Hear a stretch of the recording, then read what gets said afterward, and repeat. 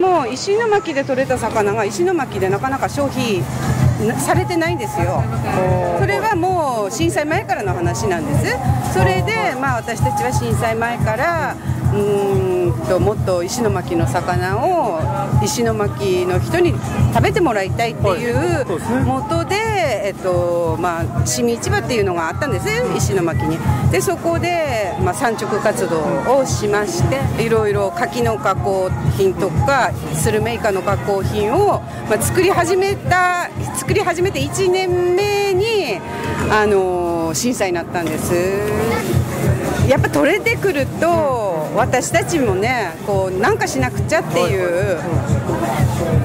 思いになって、まあ、そしたらあのボランティアの方々が、まあ、お手伝いしたいっていうことで、えいろいろお手伝いをいただいて、えー、まあちょっと活動始めたばっかりなんですけど、まあ、自分たちが活動できるようになったのが一番っていう感じはしますね。えー、やっぱりね取れ、うん、漁師は魚取ってなんぼなもんですからだからまあ取れた魚をねみんなに美味しいって言って食べてもらえることが喜びなんで、えー、それができつつあるので、えー、販売そうですね、まあ、市民市場での活動とあとは、まあ、自分たちのやっぱり店とか加工室を、まあ、とりあえず加工室がないと加工品が作れないんで、えー、もう加工場を作るのが、まあ、目下の夢ですね。はい。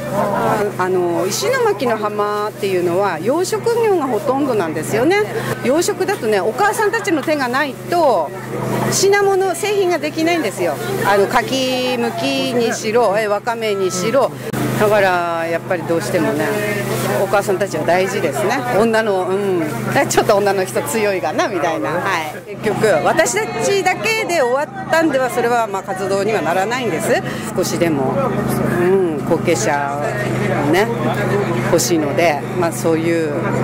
ことにもつながればと思って、まあ、一生懸命旬の魚のご飯とか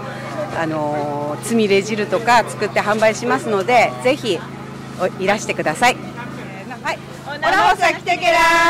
ーい